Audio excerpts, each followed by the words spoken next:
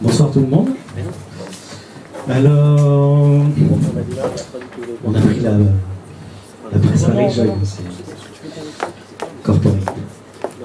Voilà une petite présentation. Donc, euh, on va vous présenter Backbone.js dans un environnement Java. Donc, c'est un retour d'expérience euh, chez un client.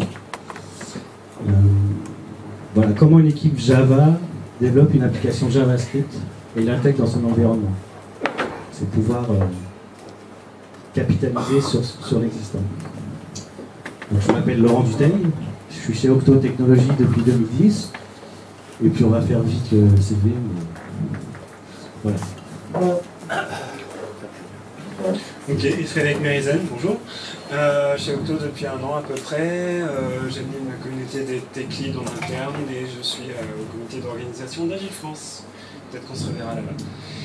Alors, fait, la- notre motivation quand on a commencé, quand on a commencé le, projet qui était, derrière ce retour d'expérience, euh, bah, peut se résumer en une phrase en fait, c'est on part jamais d'une page blanche.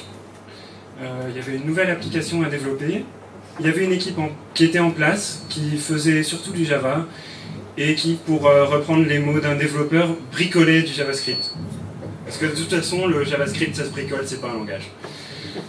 Euh, il y avait des environnements en place, un Jenkins qui marche.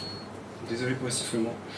Euh, un Jenkins qui marchait. euh, enfin bref, euh, une infrastructure à récupérer.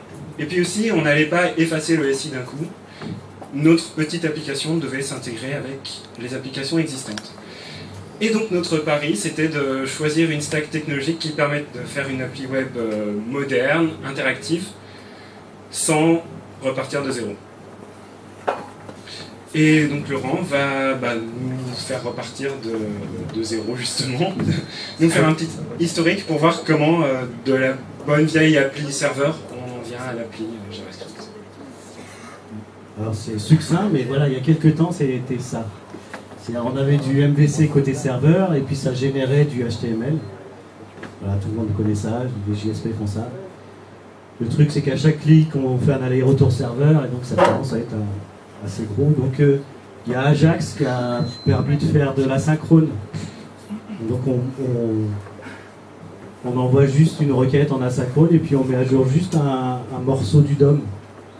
Euh, juste, voilà, juste un morceau du DOM qu'on qu'on va faire. Mais faire tout ça en pur JavaScript, c'était un peu, un peu galère. Et puis arrivé euh, jQuery, ça, ça a permis de faire les choses un peu plus facilement. Et puis on commence à faire de plus en plus de choses euh, justement avec JavaScript. Et donc on, se retrouve avec un code qui n'est pas du tout structuré. C'est là qu'apparaissent des, des frameworks LPC côté, euh, côté euh, JavaScript, côté client. Donc GWT pour- pour- propose ça en disant vous codez votre, votre application en Java et puis on le compile en JavaScript. Et puis il y a les autres frameworks, dont Backbone. Donc ici on voit que tout est côté, côté client et ce qu'on va faire c'est on va récupérer le modèle du côté serveur et on va, on va manipuler notre application côté client.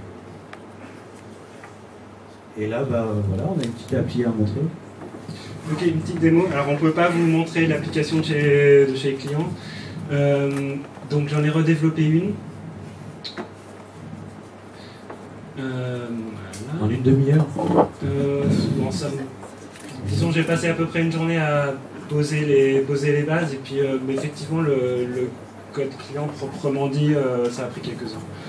Euh, donc, c'est un embryon d'application de réservation pour un, pour un site de voyage. C'est juste pour rappeler pourquoi on fait tout ça. Peut-être zoomer un poil. Voilà. Donc, je suis un client, je peux choisir ma destination. Il y en a que deux ici. Je veux aller à Djerba. Euh, en fait, on a vu à l'instant un, petit schéma avec euh, des modèles, des vues, des, contrôleurs. Euh, Il y en a qui sont là derrière. Euh, ce bouton là, Djerba, c'est une vue sur un, sur un modèle qui représente ma destination. Juste en dessous, le, cadre jaune, c'est une autre vue, mais euh, il y a le même modèle derrière. Hop, je mets à jour le, le modèle et euh, voilà. Euh, Sans aller-retour serveur, ça bouge. On voit que les prix des chambres sont pas les mêmes. Alors ça, par contre, il y a un aller-retour serveur, justement, bah, un peu comme un ORM, en fait. hein. On va simplement s'alimenter en données.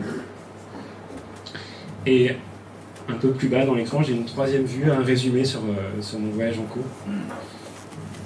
Et, et voilà, quoi, ça bouge tout seul, tout ça se met à jour. Et donc, quand on a besoin de faire ce genre d'application interactive, on n'a pas envie d'aller recharger des pages tout le temps, d'avoir la page qui remonte en haut, qui flash en blanc, etc. Et donc, c'est pour ça qu'on est vraiment obligé d'aller au-delà de, la simple application serveur. Alors, on verra peut-être IntelliJ tout à l'heure. En attendant, on reprend la presse. Voilà, euh, on va pas vous montrer tout le code de l'application. Rapidement, quand même, qu'est-ce qu'on a mis dedans? Euh, Il y a une couche haute dont on ne parlera pas trop. C'est c'est celle que tout le monde connaît finalement. hein. C'est euh, les jQuery UI, euh, Bootstrap, etc. Euh, un petit tips quand même, quand vous mettez en place une application comme ça dans un environnement qui ne les connaît pas, euh, n'hésitez pas à en mettre parce que le client il voit ça.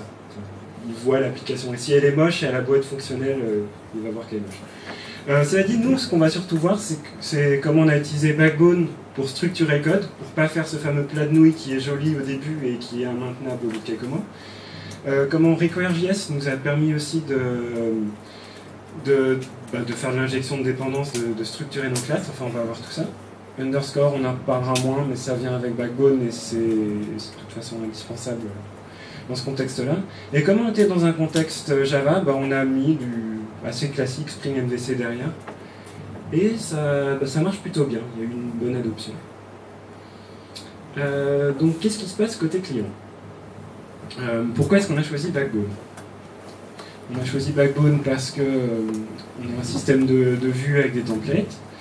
Euh, parce qu'il sait très bien attaquer des services REST, mais pas que. Donc si on a un backend qui est plus procédural, on n'est pas coincé. Euh, une gestion d'événements souple. On reviendra sur tous ces points. Un critère clé, c'est que la marge d'entrée n'est pas très élevée. Donc on a réussi à entraîner une équipe de javaïstes. Et au bout de quelques mois, au lieu d'entendre on bricole du JavaScript, on entend euh, ouais moi aussi je voudrais bien être un peu sur cette appli là parce que c'est pas si dur et c'est cool. Donc ça, ça c'est une fierté. Euh, bah voilà, euh, honte. Nous en fait on a dû supporter IE7. Euh, donc c'était un critère. Il paraît qu'on pourrait supporter IE6 avec Backbone, mais ça pour le coup on n'a pas voulu non plus. Un argument qui, qui a aidé à pousser le framework, c'est éprouvé. Quoi. Il y a LinkedIn, il y a Coursera, enfin, il y a des grands acteurs euh, qui, qui ont utilisé à l'échelle du Backbone. Euh, et Backbone c'est testable, on peut faire du test unitaire, on peut développer durablement. Euh, donc le, bah, le premier conseil c'est euh, d'utiliser un moteur de template, donc de- d'exploiter HTML. Donc on est obligé d'avoir underscore, donc on a d'office un moteur euh, de template, c'est un peu l'équivalent de la JSP, c'est un peu de JavaScript dans du HTML, Euh, on verra un peu en cours de route. Sinon il y en a d'autres. Euh, L'idée de Backbone c'est vous avez le choix. Donc souvent les gens prennent du moustache, du handlebars, il y en a d'autres. Euh, faut en choisir un avec lequel on est à l'aise en fait. Et là, faut pas essayer de trop faire le malin. On met en place un objet vu dans Backbone pour gérer chaque template. On va pas essayer de gérer les templates ailleurs. Et donc on voit notre premier template. Alors ça ressemble beaucoup à une création de classe, on reviendra dessus. Euh, donc je crée un objet view, c'est un peu l'équivalent d'un contrôleur dans du, dans du MVC euh, classique. Donc c'est lui qui va faire la jonction entre euh, le template visible et le modèle. Parfois, on va vouloir l'attacher à un morceau du DOM, donc c'est le cas ici. Euh, fait, cette vue-là, euh, ça va représenter tout un écran, elle va accueillir des sous-vues. Et donc, elle va s'attacher à un élément du DOM qui est identifié par un sélecteur CSS. Euh, parfois, c'est pas le cas, et ma vue va juste être un widget dans une div, et elle charge à une autre partie de l'application d'aller insérer ce widget quelque part pour qu'il soit visible. Et donc, euh, chaque vue va avoir une fonction render qui se débrouille comme elle veut pour euh, générer le HTML. Donc généralement ce qu'on fait c'est qu'on appelle le moteur de templating. Si j'ai envie de générer du HTML à la main dans JavaScript, je peux. Tant pis pour moi. Euh, ensuite, le, le boulot de la vue, c'est de garder modèle et, euh, et template euh, cohérents. Donc on n'a pas de two-way data binding en Backbone. donc ça fait un peu de code stéréotypé hein, qui va beaucoup se ressembler d'une vue à l'autre. Par contre, il y a zéro magie, les développeurs ont très vite compris qu'est-ce qui se passait. donc quand ma vue reçoit son modèle, soit parce qu'elle a été créée avec, soit parce qu'on lui a imposé un autre modèle, elle va mettre en place des listeners. Euh, ici, si le modèle change, eh ben, euh, j'ai un callback qui est appelé model changed et euh, probablement cette fonction model changed va relancer un rendu du relancer un rendu du template ou autre, mais c'est probablement pas une très bonne idée. Et inversement, Backbone nous permet de déclarer des événements sur le DOM donc ici, j'ai enregistré un événement change, encore une fois, sur les, les inputs, les selects, les textes arrière. Donc ça, c'est simplement des sélecteurs CSS, encore une fois. Et donc, euh, si des éléments de mon formulaire changent, j'ai un callback qui est appelé viewChanged. Et son boulot, ça va être, à partir de l'événement, de récupérer des données dans le DOM et mettre à jour, et mettre à jour le modèle. Donc euh, relativement manuel. Manuel mais simple. Et euh, très compréhensible. Euh, donc comme on l'a vu, on a un système d'événements dans Backbone, c'est peut-être sa contribution numéro 1. Euh, on peut aussi l'utiliser pour synchroniser des modèles, donc ça permet de découpler, il ne faut pas hésiter à le faire. faut pas hésiter à le faire. Voir si on commence à avoir une, une, classe un peu compliquée qui parle à tout le monde en même temps, c'est peut-être un signe qu'on a intérêt à mettre en place un bus d'événements. Donc là, vous transposez vos, intuitions de développeur en fait, elles marchent toujours. Euh, par exemple, pour la gestion d'erreurs, à un moment, euh, tout le monde ne va pas parler aux mêmes composants de gestion d'erreurs. Typiquement, c'est le genre de choses qui passent bien par un bus. Gestion de login, enfin. Après, il y, a plein de choses. Et ben voilà, je vais parler du côté serveur. La communication avec le serveur, donc comment on met à jour ce modèle, comment on le récupère? Ça se fait en une ligne en fait.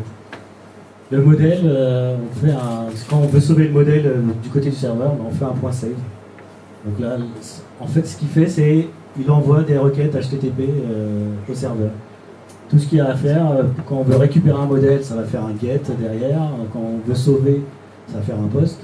Quand on sauve un modèle qui a un ID, c'est pour différencier en fait la création et la mise à jour. Donc là, c'est une mise à jour, ça va faire un put. Et le destroy, ça va faire un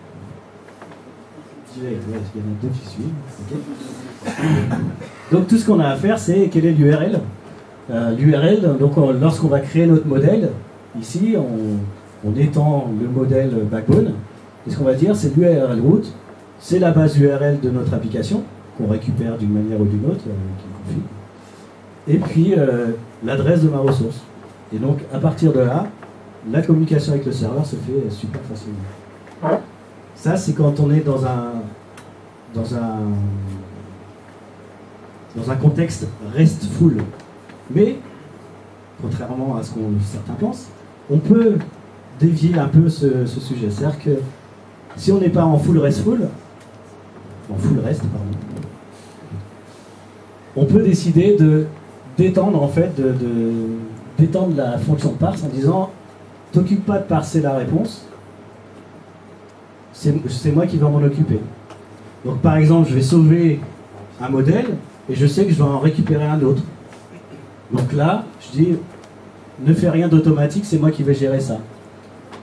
Et dans ma vue, lorsque je vais sauver mon modèle, je vais lui dire, bah, en cas de succès, tu vas faire euh, un traitement, et en cas d'erreur, tu vas faire un autre.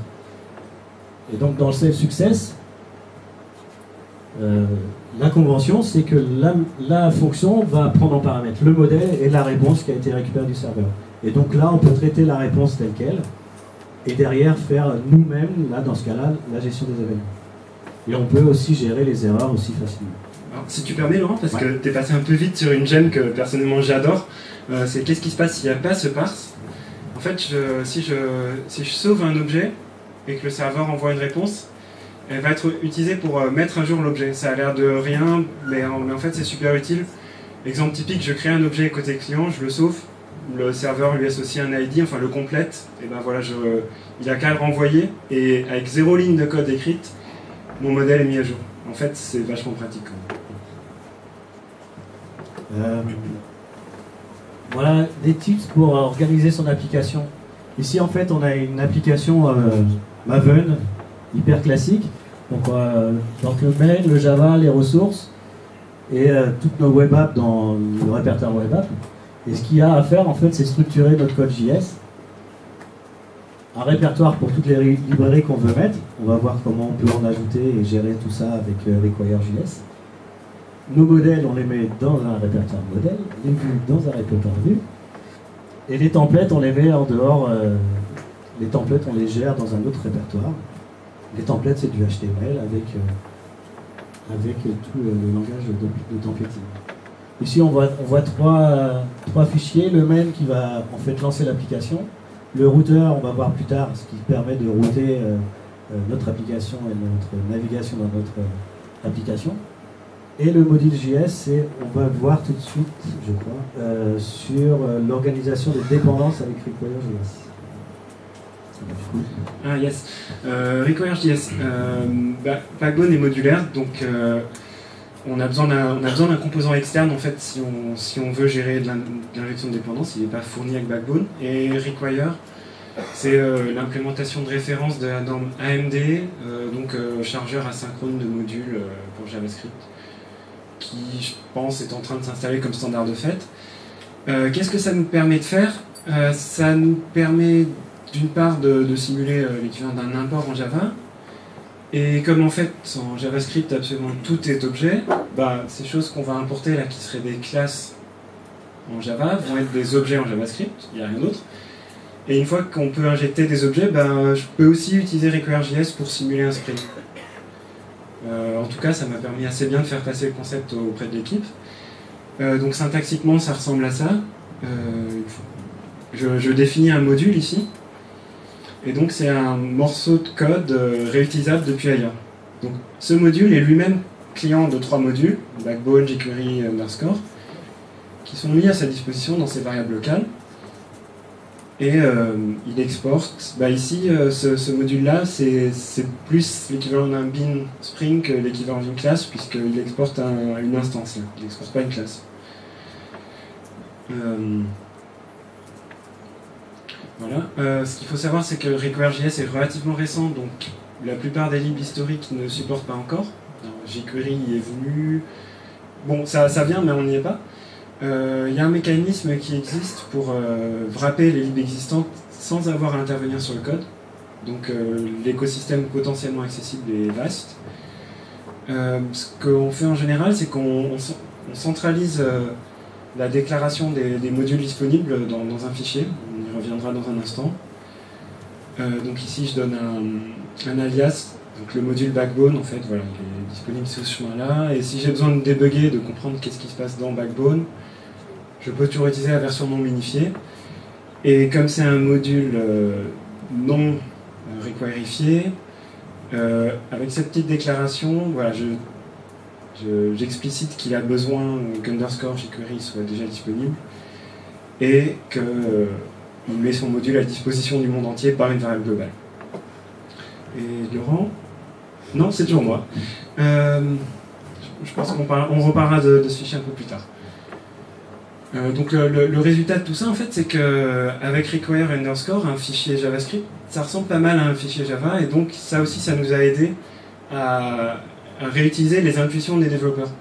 finalement, on a en haut quelque chose qui ressemble pas mal à des imports, euh, ici, on a un héritage qui ressemble beaucoup à l'héritage de classe. Donc, euh, il n'y a pas besoin de maîtriser l'héritage de prototype de JavaScript, qui est intéressant mais qui peut faire peur. Euh, donc voilà, ça c'est le backbone qui nous l'apporte, avec essentiellement trois classes de base, une pour le modèle, une pour les vues, et une pour le, le routeur, voilà. donc on a un objet JavaScript qui commence par une, accolade qui finit par une autre qui est pour tout ce qui est sur l'instance, donc les méthodes d'instance ou des, variables d'instance. Et on peut aussi décrire un équivalent de méthodes de classe qui seront disponibles directement sur l'objet MyView et non pas sur des instances de MyView. Euh, voilà, ici par exemple j'ai utilisé une méthode de, de classe pour donner accès à un singleton le routeur dont on parlait à l'instant. Donc, euh, lui, son travail, c'est de, garder en synchro euh, l'URL en haut de la page et euh, le contenu affiché dans la page. Tant qu'on était côté serveur, ça marchait tout seul. Et d'un coup, on a une requête au serveur au chargement de l'application et ensuite plus des requêtes Ajax. Donc, Si on fait rien, l'historique va plus bouger. Or, un bouton back, c'est bien pratique, les bookmarks, c'est bien pratique. Donc c'est ce composant-là qui va gérer ça. Je définis une route, ici c'est un fragment d'URL, on peut variabiliser aussi, donc on peut avoir des, des queries paramètres. Et c'est mappé vers un callback, donc une fonction qui va recevoir les, les variables si on a, et qui fait ce qu'il faut, c'est-à-dire normalement elle va demander à une vue de s'afficher. Ça c'est euh, le pendant, euh, l'utilisateur a entré une URL où on réagit correctement, et de l'autre côté il va falloir que quelqu'un mette à jour les, les URL. On est en backbone, tout est explicite, euh, donc le schéma qui marche bien, c'est les grandes vues, celles qui représentent une page de l'application, mettent à jour l'URL, donc elle demande au navigateur. Une ligne. Et côté serveur Côté serveur, nous on a utilisé euh, Spring MVC. Alors euh, on peut le faire avec euh, Java 6 et JAX RS, hein, c'est du reste. Avec Spring MVC, on reste ouvert au paradigme MVC côté serveur. Donc si on a une appli qui l'utilise déjà, c'est bien. Et puis des fois on n'a pas le choix. des fois on n'a pas des serveurs JE6 en prod. Donc on est un peu contraint là-dessus. Donc, euh, donc voilà, c'est le pourquoi de, notre choix sur euh, Spring MVC. Donc ça permet d'avoir la couche d'abstraction entre le client et le back euh, de, votre application. Et puis exposer facilement des services REST en, JSON. Avec Jackson, ça se fait magiquement, on va voir ça tout de suite. on a vu tout à l'heure, si on veut, si on a des, si on a une application qui n'est pas orientée REST, ça permet aussi d'avoir une couche qui va orienter euh, REST, un peu plus REST notre application. Et puis ça permet aussi de gérer la sécurité euh, côté serveur. Donc voilà à quoi ressemble le code. Donc c'est juste le contrôleur, c'est un contrôleur euh, MVC. Et ce qu'on va lui dire, bah, on va lui indiquer, je ne sais pas si vous vous souvenez, l'URL de notre modèle, bah, ça va être l'URL MyResource. Et puis la méthode, euh, la méthode HTTP associée à, la, notre méthode de la classe. Donc c'est hyper simple. Derrière, en fait, ce sont des classes. MyResource est une classe Java. Et euh, Jackson va sérialiser ça automatiquement euh, en JSON. Il n'y a rien à faire. C'est super pratique quelques tips pour migrer en douceur. Votre application, elle est peut-être pas faite pour être que du MVC client. Il y a peut-être aussi une partie existante, une partie qui est plus statique, euh, qui peut rester en MVC côté serveur. Donc euh, ça permet de bien aussi séparer les deux, les deux parties de votre application. Une qui va être très dynamique côté client, par exemple euh, tout un, un tunnel de réservation qui va permettre au client de mettre à jour son panier, d'ajouter de, des services sur son logement, etc., etc. Et puis de l'autre côté, votre site classique qui, qui, transmet vos, pages, euh, vos pages statiques, entre guillemets. Donc ça permet de facilement structurer tout ça. Une page ah bah oui, je. Bah, euh, oui, euh, bah, il nous reste une chose à voir côté, côté serveur, en fait, c'est comment on démarre tout ça. Euh, bon, je dirais un peu comme vous voulez, mais un bon, un bon départ, ça peut être effectivement le HTML boilerplate, ou bien nous, on a, pris un boilerplate qui était dans, dans Twitter Bootstrap, mais, mais il, part du même ancêtre, en fait. On a eu besoin de variabiliser deux trois choses quand même puisqu'on est dans une euh, on est dans une appli, dans un war donc euh, on a un morceau d'URL variable quoi potentiellement. Euh, donc pour ça on a choisi d'utiliser une JSP qui nous, qui, nous, permet de, générer les, URL pour les ressources donc au sens REST, les URL de l'appli web proprement dite, et puis toutes les ressources statiques, les JS, les CSS, etc. on a utilisé tout simplement un div pour, euh, pour accueillir l'affichage de l'application. Donc euh, ça c'est l'équivalent de balise object avec laquelle vous insérez du flash. Euh, et pour démarrer l'appli, bah, c'est require.js qui est à la main. ici j'ai un peu l'équivalent d'un application contexte. je je, vais, je vais pouvoir notamment injecter des, données de configuration dans, mes bins. ça, mine de rien, c'est assez pratique. dans cet exemple, on se contente juste d'injecter des morceaux d'URL pour que le, routeur sache générer les, bonnes URL d'affichage. Hein. Comme je disais, il y a une partie variable. Euh, et pareil pour l'accès aux ressources REST, mais on, peut injecter beaucoup de paramètres de config comme ça, et c'est utile. Ici, on va charger le fichier dont je vous parlais tout à l'heure, que je vous montrais tout à l'heure, qui contient la liste des, modules require. Et le bootstrap proprement dit, le lancement de l'application, c'est une ligne on charge RequireJS en lui disant que le premier module à lancer c'est main. Sans grande surprise, main va, lancer, enfin, va initialiser l'application. Lancer le routeur euh, et puis afficher la première vue. Euh, pour arriver sur, sur cette JSP, il y a euh, un petit point technique. on a, on a plein d'URL qui vont aboutir à l'application, puisque justement, on veut refléter l'état de l'application dans l'URL. Tiens, on n'a pas vu ça dans, le démo euh, je vous montrerai à terme. Euh, bref, on a plein d'URL et pourtant on veut qu'elles aboutissent à la même JSP, donc on pourrait faire ça via un contrôleur MVC éventuellement. Sinon, juste de l'URL rewriting, ça fait très bien le job aussi, donc euh, nous c'est ce qu'on a utilisé là. Donc toutes, les, toutes les URL de l'appli aboutissent à la même JSP et comment industrialiser tout ça, puisque ben, nous sommes développeurs, nous ne sommes pas bricoleurs, et donc nous voulons des tests unitaires, et euh, si possible, on aimerait bien réutiliser l'usine de dev Java qu'on a déjà. Et on peut le faire. Euh, Jasmine, c'est un peu le standard, donc on l'a utilisé aussi. Euh, je passe rapidement, en fait, juste pour dire que c'est une fois qu'on a fait du Jasmine, c'est plutôt agaçant de repasser à JUnit, parce que les tests sont ultra lisibles en général, hein, c'est une tradition BDD. Euh, que l'exécution des tests produit aussi un document ultra lisible. Donc euh, ça fait plaisir. Il existe un plugin Maven, le Jasmine Maven plugin, qui embarque directement le JavaScript de Jasmine et qui, permet d'intégrer ça de façon assez transparente dans un build Java. Donc soit on peut le lancer en mode, en mode headless, par exemple pour intégrer dans l'usine de dev. Petit défaut, le, le browser est remplacé par HTML unit, donc relativement pauvre on, peut, on peut tomber sur des limites parfois. Euh, mais bon, on arrive à vivre avec, puisqu'on n'est pas là pour faire du test IHM, on est là pour faire du test euh. Euh, et puis sinon, le mode interactif super pratique. Je lance cette ligne de commande et à partir de là, tous mes fichiers sources JavaScript sont scannés.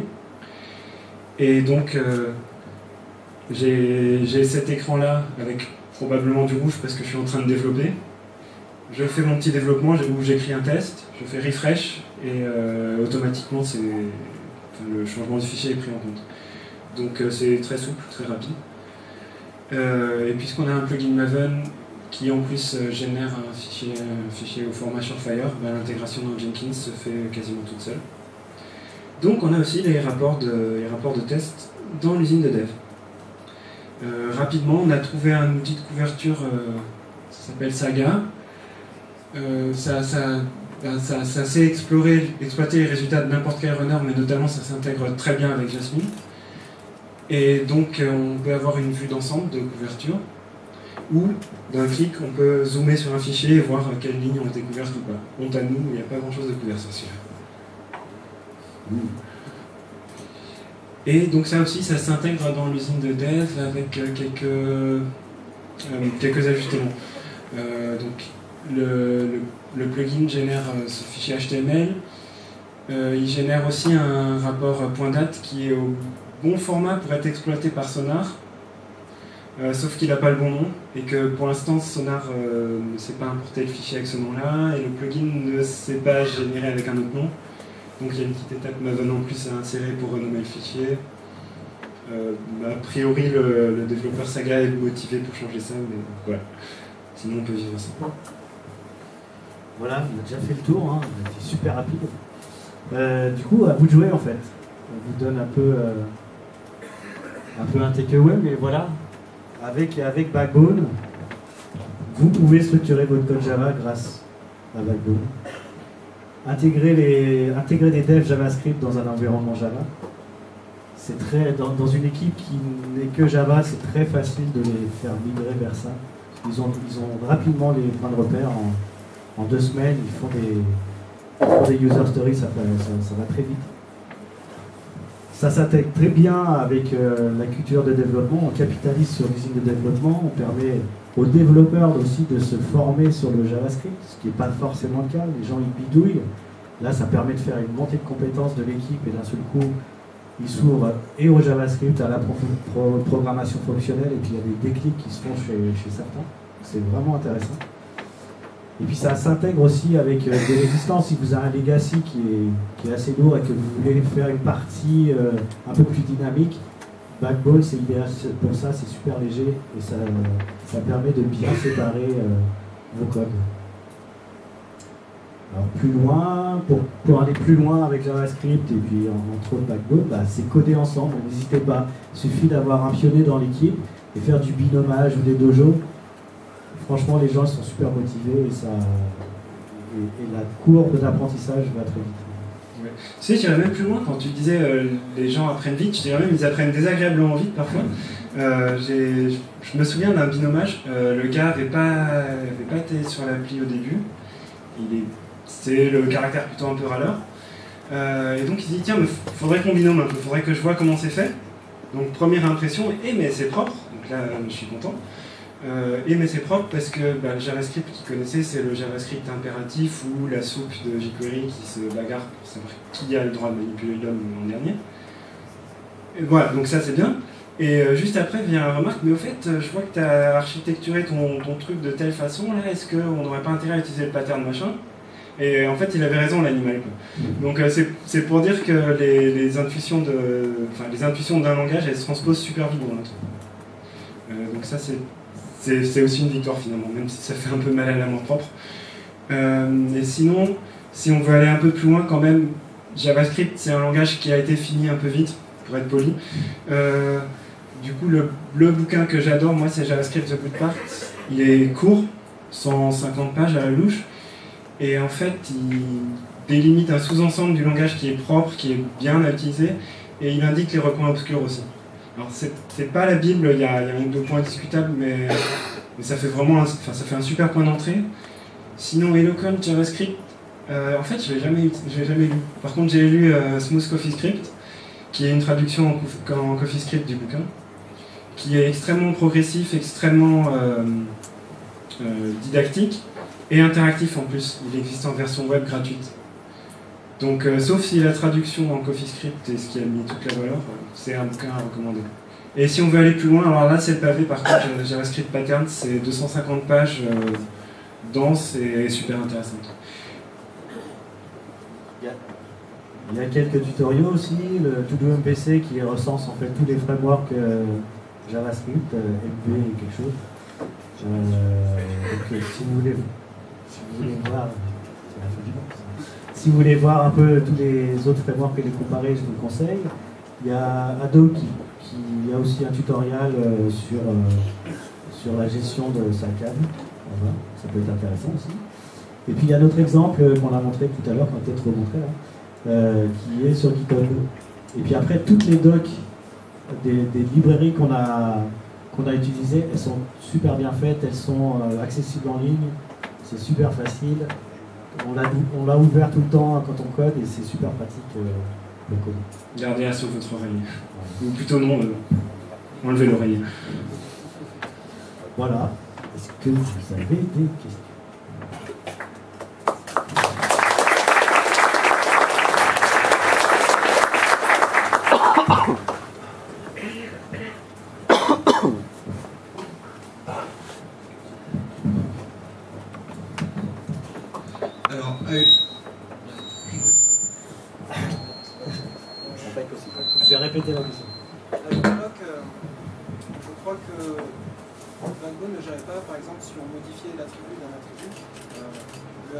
Ça ne marche pas.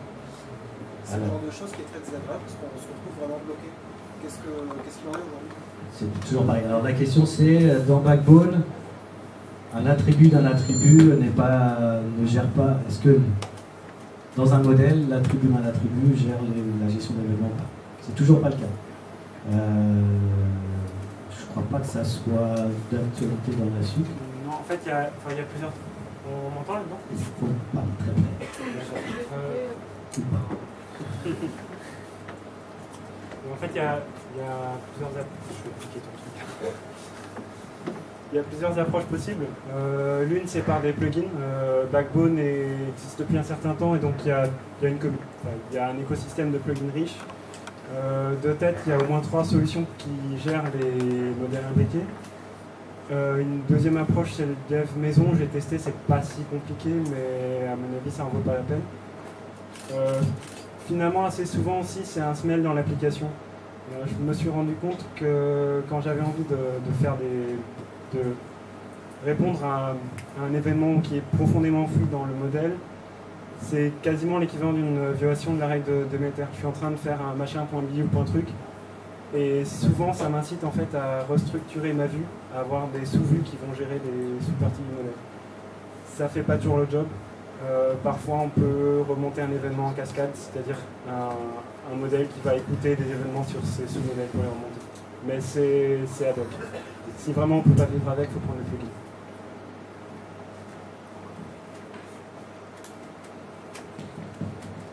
plugin. J'ai une autre expérience en utilisant Backbone, euh, Require, euh, Underscore et puis jQuery Mobile, euh, qui est un peu moins. Qui, qui m'a laissé un peu plus froid, dans le sens où il a fallu que je bricole un petit peu de mon côté pour trouver un équilibre entre les trois ou quatre frameworks utilisés euh, sans qu'il y ait euh, de comportement qui était euh, pas compréhensible. J'ai dû enlever le routeur. donc est-ce que là, l'agencement que vous avez, c'est quelque chose qui est vraiment standard et ou est-ce que vous avez été obligé de votre côté aussi d'inventer un petit peu toute l'architecture ou la combinaison des, trois ou quatre frameworks que vous avez utilisés? Non, non, enfin, déjà Backbone et Underscore, c'est fait pour marcher ensemble, donc il y a très peu de choses. Euh, sur Require, c'est juste une gestion des dépendances des, JavaScript. On l'a vu, on arrive à centraliser euh, depuis Require JS2 assez facilement toutes les dépendances. Euh, non, on n'a pas. De ma mémoire, non, on a utilisé vraiment le. Ah, Peut-être que le problème venait que euh, mon application en fait a été embarquée, c'est une application mobile avec les jeux code mobile sous PhoneGap. Mais en tout cas, j'ai pas trouvé de littérature qui montrait justement toute l'architecture que vous avez présentée. Et euh, je trouvais ça un peu dommage. On a, on a vraiment pris des trucs de base. On n'a rien, on rien réinventé. C'est moi qui ai, qui ai frappé les, premières briques de, l'appli. Euh, donc j'ai pas, j'ai pas copié-collé ça depuis un site, mais je me suis tout simplement laissé guider par les, par les frameworks et effectivement ça n'a pas donné la sensation d'un travail créatif. Euh, si on aime l'approche full stack, il y, a des, des frameworks comme RESTUP, je crois qu'il y en a d'autres. Euh, nous, on a préféré pas aller par là parce qu'on n'aime pas intégrer trop de librairies avant d'en avoir besoin, mais c'est possible aussi. Donc je dirais depuis Require 2, c'est de moins en moins créatif et de plus en plus euh, simple, standard. Et puis, et puis là encore, hein, Require.js, ça, ça, presque quelques années et il y a pas mal de communautés autour avec pas mal de plugins euh, qui, qui, qui, ajoutent euh, les fonctionnalités qui peut manquer. Mais encore, nous, on n'en a, pas, on a pas ajouté beaucoup. Bon, c'est une autre philosophie, hein, ça donne le minimum à vous de, à vous de structurer votre, votre application comme vous voulez. Ça laisse beaucoup de liberté. Et du coup, c'est super léger, hein. on n'embarque que le JavaScript. Qu'est-ce que vous avez testé comme euh, autre possibilité que Backbone.js et qu'est-ce que vous avez fait, qu'est-ce qui a fait que vous les avez écartés par rapport euh, à la solution que vous avez Alors on n'a pas testé, on, a pas, on a regardé la documentation des, différentes, euh, des différents frameworks. Backbone c'était celui qui, était, euh, avait une grosse communauté derrière, une bonne documentation quelque chose qui était assez super léger, euh, qui laisse beaucoup de liberté. Et encore, on voulait quelque chose qui s'intègre à du legacy sans embarquer euh, toute une stack forcément. Voilà, voilà, en gros les choix qui nous ont fait choisir Backbone. je crois qu'on ferait le même choix encore aujourd'hui. C'était y a un peu plus de six mois, mais on est plutôt content de notre choix. Puis surtout, l'équipe adhère bien. L'équipe adhère bien, ils montent en compétences. Et, euh, Ouais, j'en rajoute, c'est juste pour dire qu'à mon avis, le, les développeurs pur Java, c'est une espèce en voie de fossilisation. Quoi. Donc c'était important de, de, mettre un, de, mettre un, de mettre un pied dans le monde JavaScript et euh, manifestement là c'est parti. Euh, honnêtement, est-ce que ça aurait pu se faire par un autre framework? Je pense que oui. Pour le coup, je suis assez sûr qu'Angular aurait été une mauvaise idée dans ce contexte-là parce que trop magique, trop différent. Euh, et c'est pas pour critiquer Angular en tant que tel. Quoi. Mais dans ce contexte-là, je, pense qu'une approche simple, c'était ce qui passait mieux. J'ai une question concernant Require.js. Comment est-ce que vous avez géré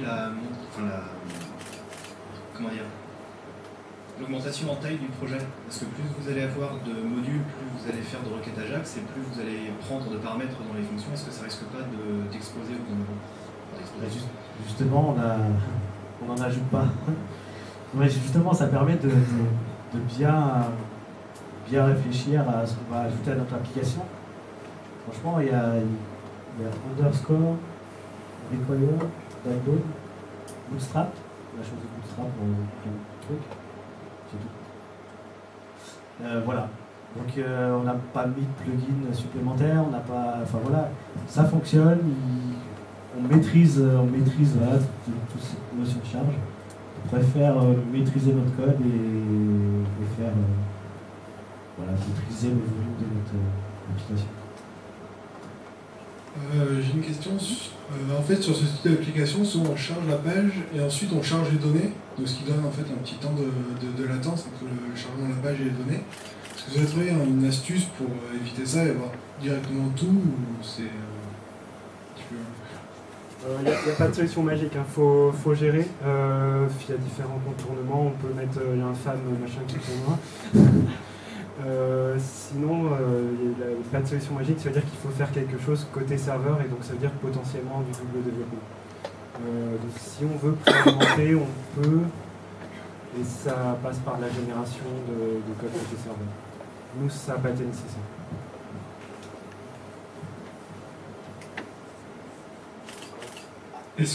Est-ce que, dans votre usine d'intégration continue, vous avez mimifié euh, JavaScript Alors pour l'instant, on n'a pas fait, mais c'est. C'est envisagé C'est envisagé. Euh, vous saviez euh, sur quoi partir? Je crois. Bah, en fait, ça c'est out of the box. C'est out of the box avec RequireJS. On a un script RJS, ça tourne sous Node, donc que mon UDD soit sous Linux ou sous Windows, ça va marcher pas de difficulté particulière. Euh, moi, ce qui m'intéresserait plutôt, c'est d'intégrer Human. Parce que pour l'instant, on, on a téléchargé les libs à la main et on les a posés dans le, dans le sens tout simple. Ça nous a permis de marcher pendant six mois, hein, donc c'est pas non plus. Euh, faut pas se laisser bloquer en fait. C'est un moment, faut y aller, puis après on peut améliorer. Juste pour rajouter, ça prenait moins de temps de copier la, librairie que d'installer euh, Human ou quelque chose a été efficace.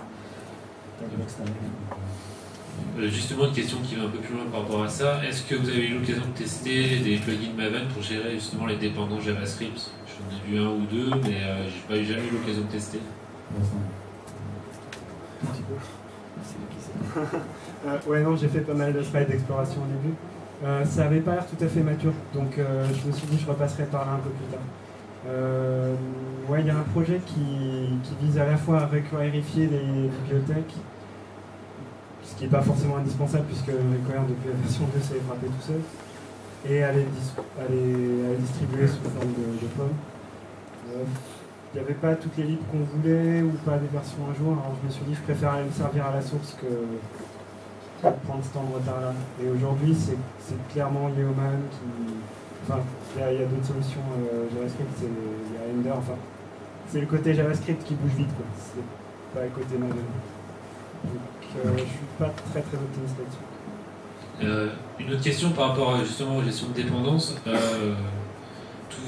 votre application, c'est un seul fichier JavaScript qui va contenir tout le code applicatif ou vous l'avez séparé et c'est géré par Require?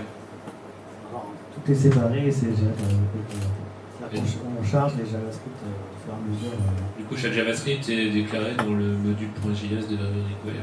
Alors, les, les- les librairies, oui, mais pas notre code. Le à nous, il est, il est géré, euh, il est chargé par, par Backbone. en fait. C'est D'accord. lui qui s'occupe de tout ça. Ok. Donc, euh, en plus, voilà, c'est super facile à, à débugger aussi dans le navigateur. ouais, c'est- Un des problèmes de, de Backbone, c'est qu'on est obligé d'écrire quand même beaucoup de code. Alors c'est pas magique, mais euh, à chaque fois qu'on doit créer une vue ou un modèle, il y a plein de méthodes à implémenter finalement. Est-ce qu'il y a des best practices pour minimifier le nombre de lignes de code Toi, tu pas Backbone. Euh, oui, on doit tout faire soi-même. Euh, par exemple, on parlait du, du mapping euh, entre le modèle et la vue, enfin, le DOM, etc.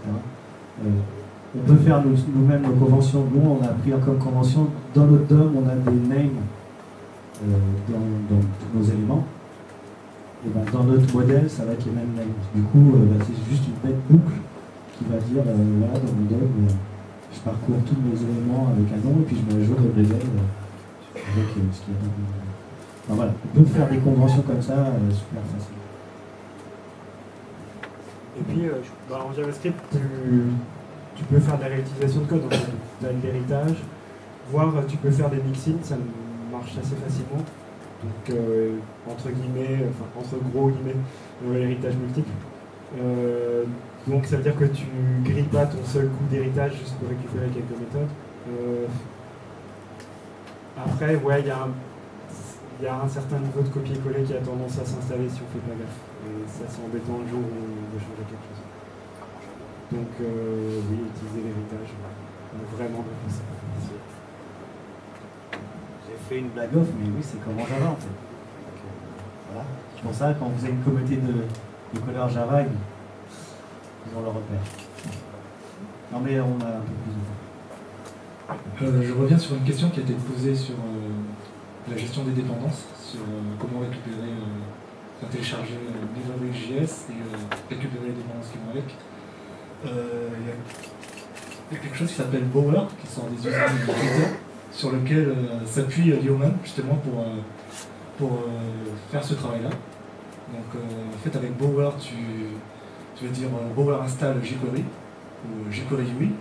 Et en fait, euh, il va euh, savoir qu'il faut récupérer, euh, qu'il dépend de jQuery, et il va savoir, euh, va tout récupérer. Et comme c'est un outil euh, en ligne de commande, je pense que ça devrait être facilement intégrable euh, avec Maven, du coup avec euh, Jenkins.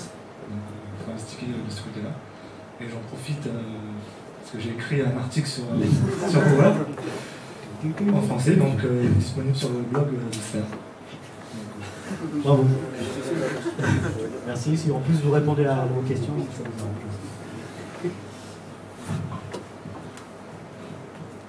Est-ce qu'il y a d'autres questions? On gagne encore un t-shirt. Oui, il y a des t-shirts à gagner. hein, s'il vous plaît. Bon, alors les deux prochaines questions, des t-shirts, c'est ça Ah, merde.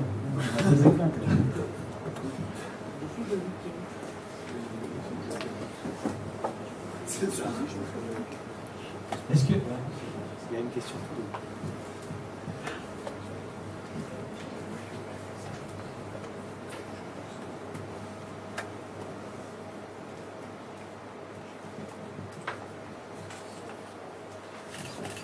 Donc, euh, vous parliez tout à l'heure que les, que les moteurs de recherche puissent euh, indexer l'application.